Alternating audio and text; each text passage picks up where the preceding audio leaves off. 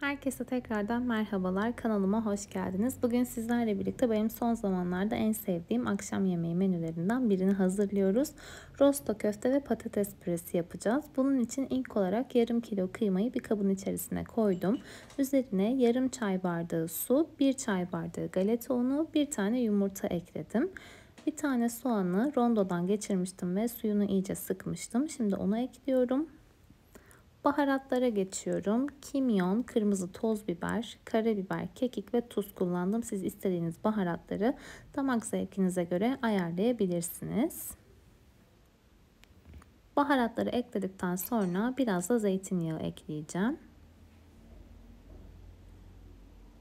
Köftenin malzemeleri bu kadar. Şimdi hepsini iyice yoğuruyorum. Bütün malzemeler iyice özdeşleşene kadar yoğurma işlemine devam ediyorum. Daha sonra hazırladığım köfte harcını yağlı kağıdın üzerine koyuyorum ve rulo haline getiriyorum.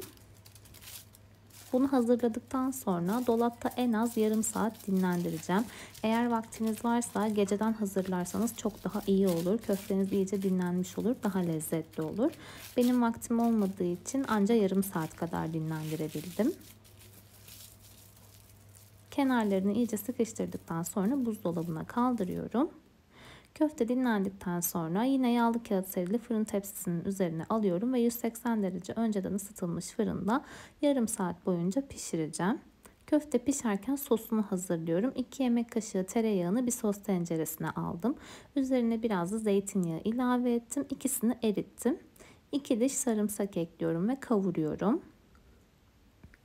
Sarımsağı da 1-2 dakika kavurduktan sonra 1 yemek kaşığı dolusu domates biber karışık salça ekliyorum. Salçayı da aynı şekilde kavuruyorum. Yarım su bardağı domates sos kullanıyorum. Bunu biraz daha lezzetlendirmek için koydum. Elinizde yoksa koymasanız da olur. Tuz, karabiber, kırmızı toz biber ve biraz da kekik ekledim. Bir su bardağı sıcak su ekliyorum. Benim bu kupam bir su bardağı alıyor. Yani 200 ml.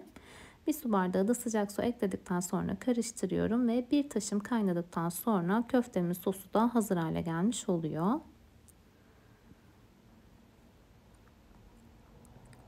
Köfte yarım saat pişti. Şimdi çıkartıyorum.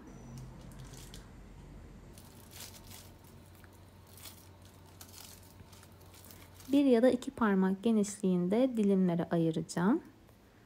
Aslında sıcakken kesmek çok doğru değil, dağılabilir. Siz yaparsanız eğer soğumasını bekleyin, o şekilde kesin. Bu arada rosto köfte yapıldığı zaman bazen dağılıyor diye mesajlar geliyor. Dağılmasının birkaç tane sebebi oluyor. Bunlardan birincisi bu şekilde sıcak kesmek. İkincisi eğer e, kıymanız çok yağlıysa yine dağılabilir. Ondan da kaynaklı olabiliyor. Biraz daha yağsız bir kıyma kullanmak daha iyi oluyor. Dilimlediğim köfteleri fırın tepsisine dizdim. Şimdi üzerine sosumu gezdiriyorum. Yine 180 derece fırında fanlı ya da fansız fark etmez. Yarım saat daha pişireceğim.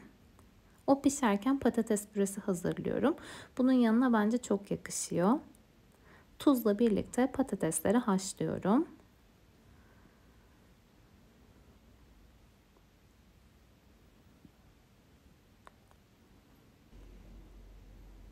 2-3 dakika kadar patateslerimi haşladıktan sonra bir yemek kaşığı dolusu tereyağı ve yarım su bardağı süt ekledim. Hepsini güzelce eziyorum.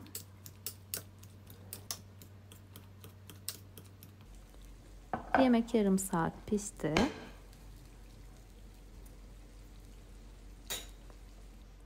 Şimdi artık servise geçiyoruz. Köfte yumuşacık oluyor. Gerçekten çok lezzetli. Mutlaka denemenizi tavsiye ederim.